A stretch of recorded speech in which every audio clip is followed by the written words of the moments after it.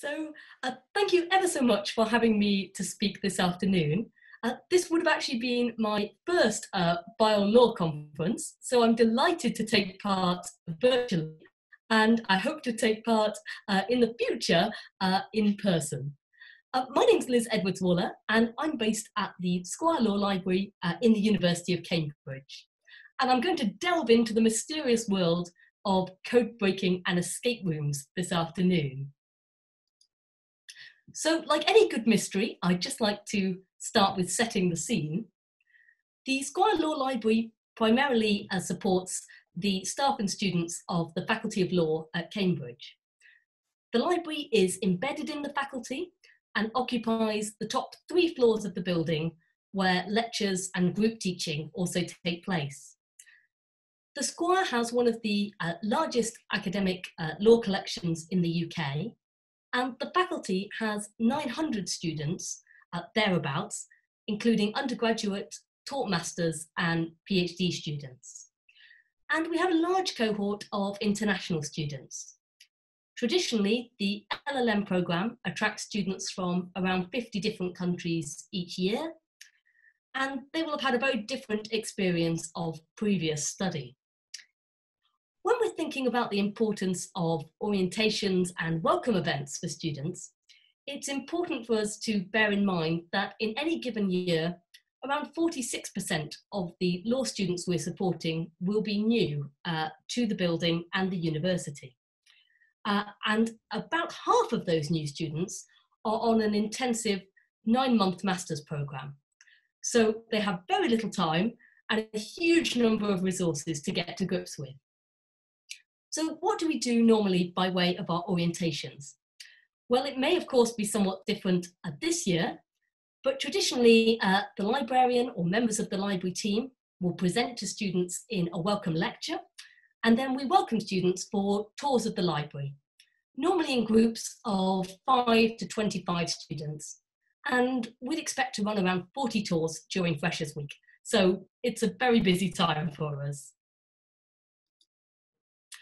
So when we think about running an escape room or a code sort of breaking event, in addition to, or perhaps sometimes instead of, a more traditional library tour? Well, firstly, we know that most students attend welcome lectures and library tours, but not all of them. They take place during the first week of term, before teaching begins, at a time which is very busy and can be a little bit disorientating for students. So we were looking to provide uh, an activity toward the end of that first term for students who hadn't previously been involved to connect with the library team, and for students who had taken part in the original tours to experience something new, perhaps challenge some of their ideas of the library. We know that by the end of the first term, most students have had ample opportunity to try and search for resources independently so they should have a good idea of what they're succeeding in, and they may also have a better idea of what challenges they face in tracking down the resources they need. We know there's a really strong interest uh, in escape room and code breaking activities. A Guardian article recently reported there were one and a half thousand escape rooms in the UK, and there are multiple commercial escape rooms uh, in the city of Cambridge itself. We also know that different elements of the university have run very successful escape room and code breaking events, such as the main university library and several museums. And there's a real enthusiasm for code breaking within our library team. And I think that's an important point just to say, if you're going to invest time and energy in creating a plot and marketing this to students, it really does help to have some enthusiastic code breakers uh, in your team as well. So what do you actually need if you want to create an escape room uh, within your own library? Well, we ran these escape rooms uh, in person, and so you need space. Uh, it has to be a space that won't impact on other library users. Uh, students can become uh, quite vocal during escape rooms, and so there's quite a bit of shouting and tearing around the place. Uh, we were very lucky to identify a seminar room there's actually a multi-use room that we could set up uh, for several days at a time to run the uh, code breaking challenges. But a corridor, uh, a storeroom, uh, and a sectioned off area of the library would all work just as well. I would just say if you're using a multi use space, do be mindful of telling students what is and isn't included in the parameters of the game. I learnt this the hard way when one of our students started to try and hack into the fire panel to set the alarms off uh, as part of the escape room. Think about technology. Do you want students to bring their own phones and laptops with them, or are you going to provide uh, terminals they can use for searching? We wanted the escape rooms to be as close as possible to their own experiences of searching for resources. So we asked them to bring their laptops, phones, or whatever they'd normally use with them. Thinking a little bit about props, commercial escape rooms can be very elaborate. I don't think anyone will expect uh, a revolving bookcase or a smoke machine in play. We probably spent around £60 on a safe and some uh, briefcases and padlocks. Uh, but actually, libraries are themselves fantastic sources of props. Fans, cash boxes, filing cabinets can all be used. Think about how much time you want students to actually invest in these games uh, and how much time you have to spare. We perceive that students were actually very busy throughout the term, so our original games only ran for 30 minutes each, but do allow time between events to reset the room. That takes a lot longer than you would think. Finally, think about how to actually market the, the event.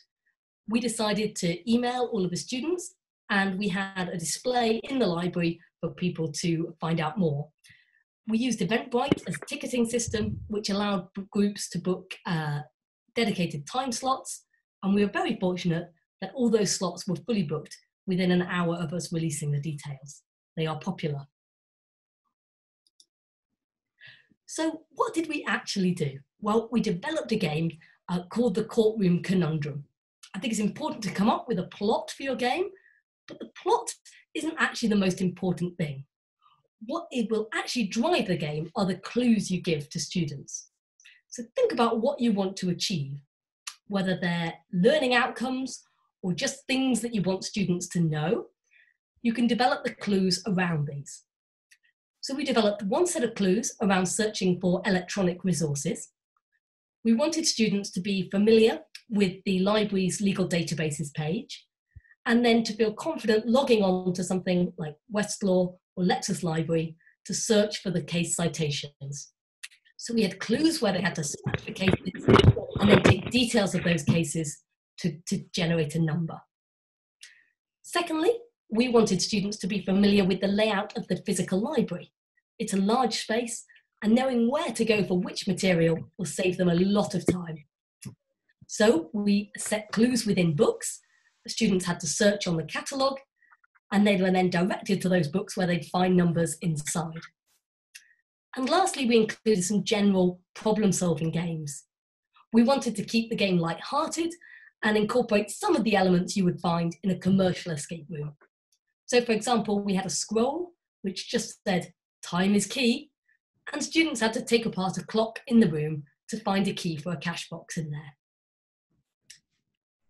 Do think about how, pardon me, um, do think about how you're going to actually follow up on those experiences with students? If you want time after the game, you could talk to them about what worked, what didn't work, and that makes more of a learning experience from it. Okay, so we ran games uh, twice, once in November 2008, and then a second set in December 2009. And having gone through both of those, what have we learned? What worked and what didn't?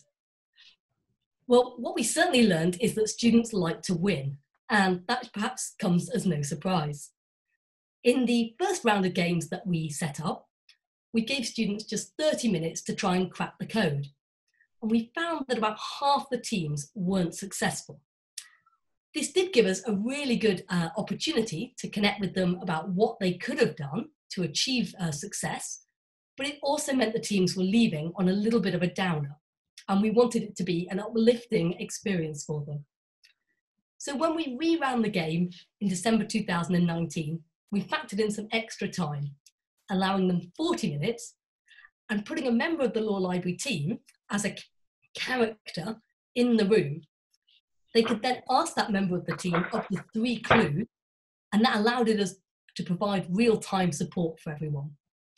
It also meant that most of the students were successful in cracking the code and they left feeling like very effective detectives. We also found from feedback that students really like participating with their friends. When we first started the game, we offered an Amazon voucher for any teams taking part. But we quickly found that all the games were fully booked and that students were happy to give up 30 or 40 minutes without any bribery. So we quickly dropped the Amazon vouchers and just carried on with the games. We did find that they are quite time intensive to offer.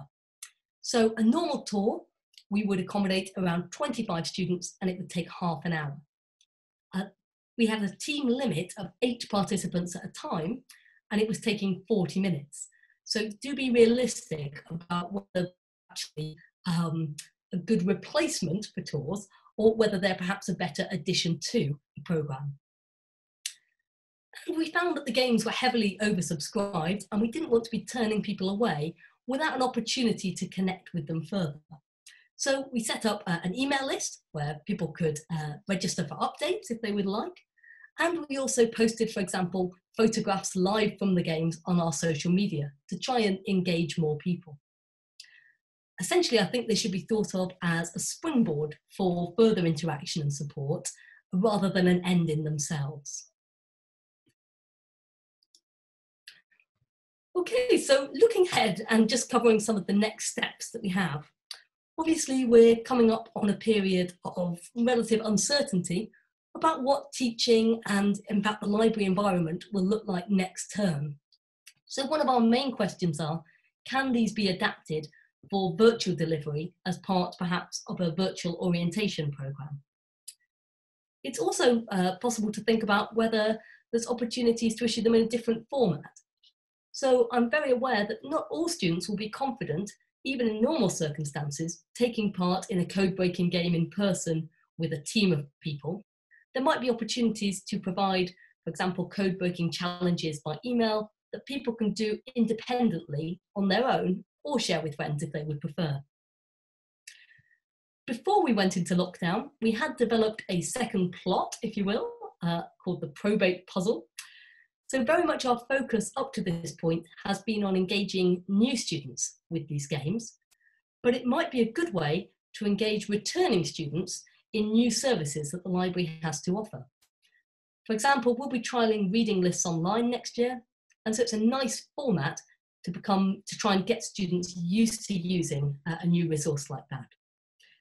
Either way, I think we can say that there's many, many more mysteries ahead to be solved uh, and lots of opportunities to try and develop these in the future. That's everything from me.